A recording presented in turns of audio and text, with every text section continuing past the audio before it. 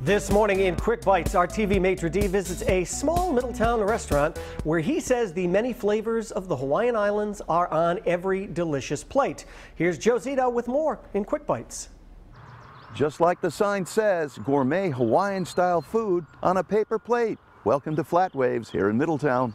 Oh, sure. 1130 Aquidneck Ave in Middletown is a long, long way from Waikiki. But to a young 24 year old entrepreneur like Will Burgess, it's a lot closer than you think. A couple years ago, my family and, and I, we went on a trip to Hawaii, like a family trip, surf trip, and uh, started eating uh, the local food down there because pizzas and everything else was so expensive. So we started eating in road trucks and, and different places called Hawaiian Plate Lunch.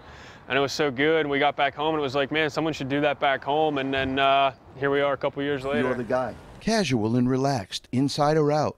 Uniquely delicious Hawaiian inspired comfort food for the whole family that'd make McGarrett proud. The name, by the way, comes from Will and his friends, surfing enthusiasts growing up in Portsmouth, where the waves were, well, they just didn't measure up.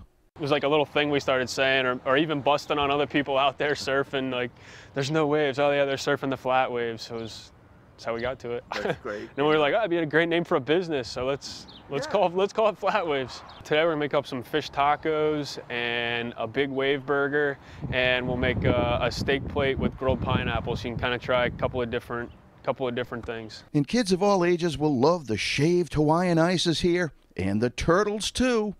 And this fun little place has a big social conscience. We do this thing we call it Beyond One Meal. And a portion of everything that you buy in Flat Waves, we take a portion of that sale and we buy live chickens that we donate to um, families and people in Africa that don't have a sustainable food source. We have a, we're working on a partnership with some folks in Kenya.